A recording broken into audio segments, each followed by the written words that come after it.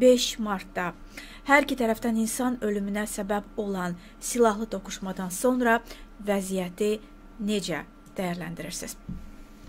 Salam Sevinç xanım, hər vaxtınız xeyir olsun, hörmətli izləyicilər.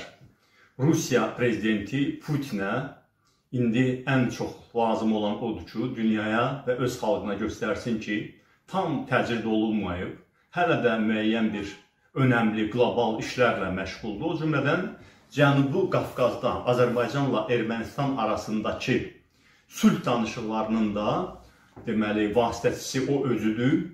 Cənubi Qafqazı nəzarətdə saxlayır və belə bir təəssürat yaratmaq istəyir. İlk növbədə öz xalqında, sonra da bütövlükdə dünya ictimaiyyətində. Ona görə bu telefon danışıqları, görüşlər, o izolyasiyanın, təcridin aradan qaldırılmasına xidmət edir. Biz yaxşı bilirik ki, Rusiya və onun hazırki rəhbərliyi Qarabağ münaqişəsinin bitməsini istəmir.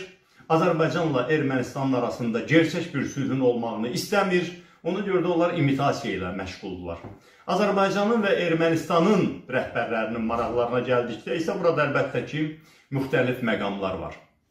Mən sizin sualınızın o ikinci hissəsinə toxunmaq istəyirəm. 5 martda hər iki tərəfdən 3 hərbçinin ölümündən sonra o toqquşma ki oldu Qarabağ ərazisində, ondan sonra vəziyyət regionda necədir? Həmin hadisə bir daha göstərdi ki, Qarabağ bölgəsində münaqişə başa çatmayıb.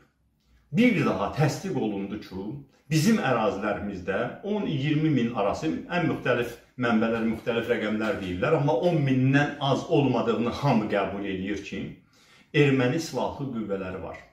İlham Əliyev hətta özü də 2 il yarımdan sonra etiraf elədi ki, Qarabağda nəinki silahlı qüvvələr var, hətta Ermənistanın silahlı qüvvələri var. Yəni o bizə ki, pafosla danışırdı, bitdi münaqişə, tarixdə qaldı, hamısı görbagör oldu və s. və ilaxır. Onların hamısının yalan olduğunu indi çarəsizlikdən özü də etiraf edir. Deməli, bizim ərazimizdə 20 minə yaxın erməni silahlı dəstələri var. Onları Rusiyanın dırnaqarası sülh məramları himayə eləyir və çox belə paradoksal bir vəziyyət yaranıb.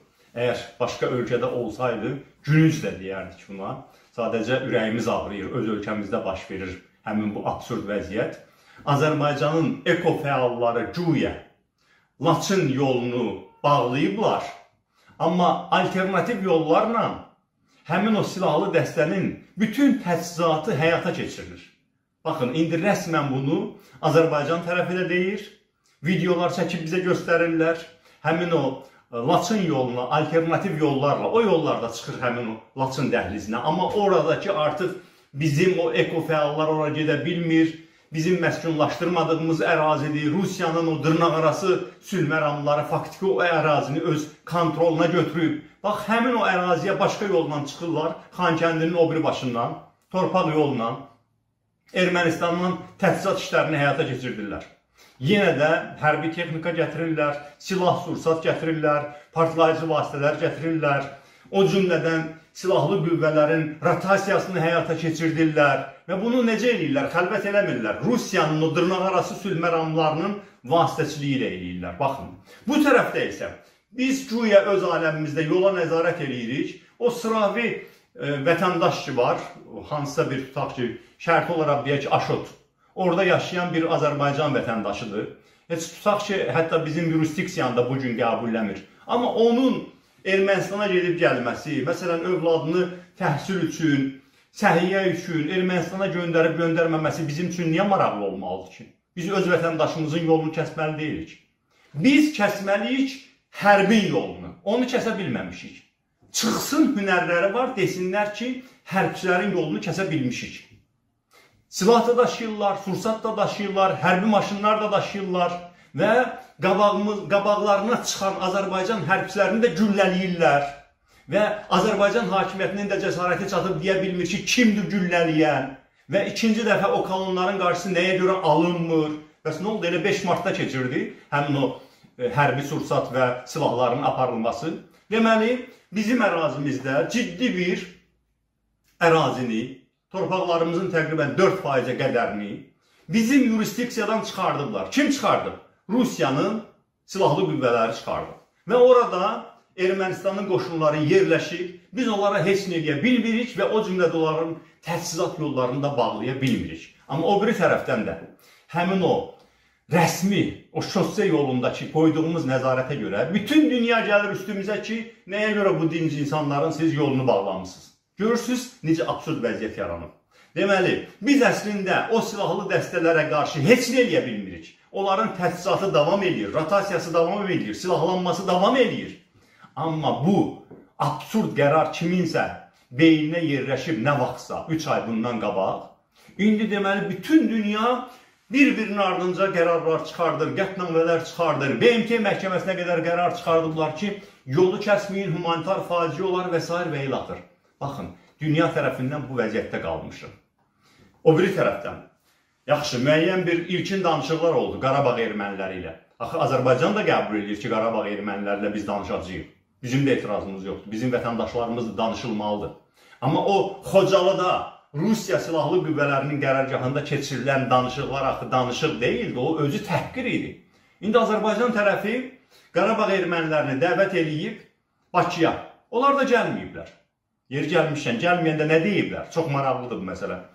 Deyiblər ki, siz bizə hansı hüquq təhlükəsizlik verə bilərsiniz ki, sizin özünüzdə hüquq yoxdur. Sizdə hüquq varmı ki, bizə hüquq verəsiz.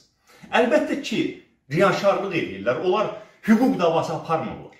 Onlar o separatçılığı aparanda, məsələn, elə bir məqam olub ki, ən azı 1 il ərzində, 92-93-cü illər ərzində Azərbaycan hakimiyyəti Ermənistandan daha demokratik idi. Bütün dünyada qəbul edirdi.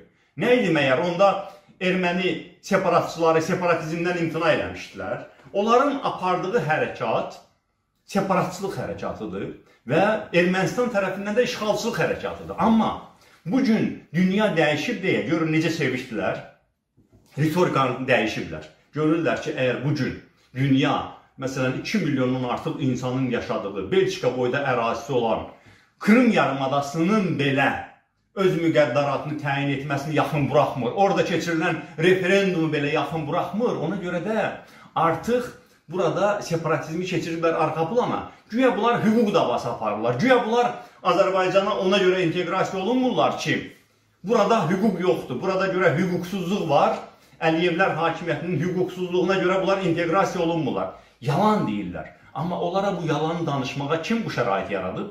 Azərbaycan hakimiyyəti yaradıb. Azərbaycan hakimiyyəti bütün dünyada Azərbaycanı ən avtoritar, ən qəddar, ən geridə qalmış rejimlərdən biri kimi tanıtdırmaqla həmin o rəqib tərəfə şans verib ki, onlar indi bizi bütün dünyada rüsva edirlər ki, biz burada necə yaşayaq, onlarda hüquq varmı ki, bizə də hüquq versinlər? Baxın, nəyi vurgulamaq istədim? Siz 5 martdan sonra yaranmış vəziyyəti soruşursunuz. Mən də onu hər tərəfli təhlil edirəm ki, sülh də alınmır, müharibə də alınmır. Və bizim bir neçə il öncədən proqnozlaşdırdığımız kimi Rusiyanın, Azərbaycanın, elə Ermənistan rəhbərliyinin də ortaq modeli olacaq yaxın müddətdə nə sülh, nə müharibə vəziyyətini davam etdirmək. Sülh alınmır ona görə ki, məqamı İlham Əliyev bizim üçün əlverişli olan məqamı buraxıb, həmin o 44 günlük müharibədən dərhal sonraki həqiqətən də Ermənistanın ordusu da əzilmişdi, təbliğatı da alt-üst olmuşdu, dünyada da heç bir dəstəyi yox idi. O məqamda biz öz şərtlərimizi qəbul etdirib sülhü sürətləndirmədik, Zəngəzur sevdası ilə prosesi uzatdıq və beləliklə Ermənistanın separatizmi üçün, onların bu işğalçılıq siyasəti üçün müəyyən bir zəmin yaratdıq ki, onlar özlərinə gəldilər, diplomatik cəbhədə üstünlük qazandılar, özlərinə tərəfdarlar topladılar və sentyabr ayından, ötən ilin sentyabrından təşəbbüs artıq Ermənistandadır. Hər yerdə bizi sıxışdırırlar diplomatik müstəvidə. Hər yerdə onların müttəfiqləri artır, bizimki azalır. Beynəlxalq təşkilatlar bir-birinin ardınca Ermənistanın danışdığı dillə danışmağa başlayırlar bizimlə. Onlar öz versiyalarını bütün dünyaya qəbul etdirirlər və ona görə də artıq Ermənistan sülh üçün tələsmir. Bəli, mən ona inanıram ki, Paşinyan artıq birbaşa bizdən o, belə deyək, ərazi almaq, Qarabağı ya müstəqil eləmək, ya da Ermənistanı birləşdirmək kimi avanturadan imtina eləyib. Amma bu saat indi Ermənistan siyasəti nəyin üzərində işləyir? Onun üzərində işləyir ki, Azərbaycan hakimiyyətinə qarşı ciddi baskı yaratsın, zaman onun xeyrini işləyir, hər yerdə onlar daha uğurla işləyirlər və Azərbaycanı məcbur eləsin ki, Qarabağda yaşayan o bir ovuc erməni əhaliyə geniş muxtariyyət verilsin. Bax, hal-hazırda Ermənistan siyasəti bunun üçün işləyir və görür ki, şərtlər onların xeyrinə dəyişir. Azərbaycan hakimiyyəti özünün belə deyək, dar gözlü olmağından, uzağı görə bilməməsindən, dünyadakı gedən prosesləri oxuya bilməməsindən, gedib yapışıb bu batmaqda olan Rusiyanın yanında yer alıb özünə, onun gəmisinə e, demək olar ki, keçib o batmaqda olan gəmiyə. Ermənistan isə fürsəti bilib açılıb bütün dünyaya, demokratik dünyaya özünə çoxlu tərəfdarlar toplayıb və başa düşür ki, proses zaman onun xeyrini işləyir. Azərbaycan hakimiyyəti isə Azərbaycanı Rusiyanın kölgəsinə çevirməklə vəziyyətini dünyada pisləşdirir. Ona görə Ermənistan sülh danışıqlarının tez bitməsinə maraqlı deyil. Rusiya dünəndən maraqlı deyil. Ümumiyyətlə nə tez, nə gec. Rusiyaya ümumiyyətlə sülh danışıqlarının e, bitməsi lazım deyil. Onlara elə məhz nə hərb, nə sülh variantı belə deyək, onlara əlverişlidir. Ona görə o məsələn 5 martdakı o toqquşma ki oldu, hər iki tərəfdən ölənlər oldu. Rusiya üçün çox belə göydən düşmək idi. Rusiyaya ləzzət elədi ki, görürsüz, mən hələ burada lazımam. Mən olmasam bir-birinizi qırarsınız. Biraz da nifrət eləyin bir-birinizə. Biraz da hər iki tərəfdən nifrət çıxışları artsın və mənim regionda qalıb burada liderlik, ağsaqqallıq eləmək imkanlarım artsın. Rusiyaya da sərf eləyir. Çox təəssüf ki, Azərbaycan hakimiyyəti də belə görünür ki, Rusiyanın bu yanlış siyasətinin yedəyində gedir. Və indi çətin bir vəziyyət yaranıb. İri miqyaslı hərb isə bundan sonra artıq mümkün deyil. Mən sizə bunu açıqlayım. Hərblə bu məsələnin həlli imkanlarını İlham Əliyev 9 noyabr 2020-ci ildə qapatdı. Bax o məqamda ki, Xankəndi boşalmışdı. Bizim ordumuz Xankəndinin bəzi yerlərdə girmişdi, bəzi yerlərdə bir neçə 100 metrliyində, bir neçə kilometrliyində idi. Və özləri etiraf elədilər ki, 25 min nəfərlik erməni ordusunun tam mühasirəyə düşməsi və təslim olması an məsələsi idi, gün məsələsi idi. O məqamı buraxdı əldən getdi. Rusiyanın ordusu Qarabağa girməklə hərbi variant istisna olundu. İndi nə vəziyyət yaranıb? Deməli, Ermənistan-Azərbaycan sərhəddini hal-hazırda Avropa Birliyinin müşahidəçiləri qoruyur. Ora hücum eləyə bilməzsən, onların əlində silahı olmasa da onların qələmi silahdan güclüdür. Biz ora hücum eləsək, dərhal hesabat yayacaqlar və bütün dünyadan Azərbaycana qarşı sanksiyalar gələcək. Bunu qoydu qırağa. Azərbaycanla Ermənistan arasında hərbi yolla məsələləri həll etmək qapandı. Qarabağın içində hansısa xırda antiterror əməliyyatları ola bilər və bunu Rusiya özü həvəsləndirər ki, biraz benzin töksün bu, belə deyək, tonqala. Bu qoy tonqal daha da gür yansın.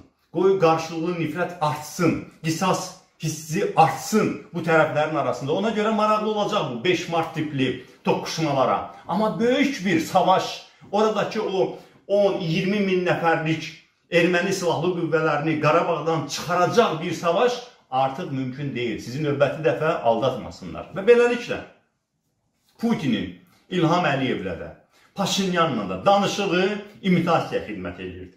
O cümlədən həmin bu Azərbaycan və Ermənistan rəhbərlərinin də Putinlə danışıqda məqsədləri biz nəsə eləməyə çalışırıq təəssüratını cəmiyyətlərinə göstərmək idi. Ona görə də biz bilməməli şəkildə bilməliyik ki, Azərbaycan-Ermənistan münaqişəsinin nizama salınmasının Rusiya vasitəçiliyi ilə həlli mümkün deyil. Nə qədər ki, bu prosesdə Rusiya vasitəçi kimi qalır, deməli biz yerimizdə sayırıq. Azərbaycan isə çox təəssüf ki, İlham Əliyevin səhv siyasəti nəticəsində təkcə yerində də saymır, biz geriyə addımlayırıq. Zaman keçdikcə sülh şərtləri məhz Azərbaycanın əleyhinə dəyişməkdədir. Çünki diplomatiya Azərbaycan tərəfinin, Azərbaycanın dövlət rəhbərliyinin bilmədiyi sahədir. Hərbidə olanda söz, onu bizim əskərimiz, zabitimiz, generalımız bilirdi necə eləmək lazımdır. Amma məsələ diplomatiya, siyasət masasında həll olunanda Azərbaycanın rəhbərliyi bu sahədə çox zəifdir. Belə deyək, gözü kölgəlidir, dünyada səsi, sözü eşidilmir və ona görə də çox təəssüf ki, zaman da bizim əleyhimizə işləyir.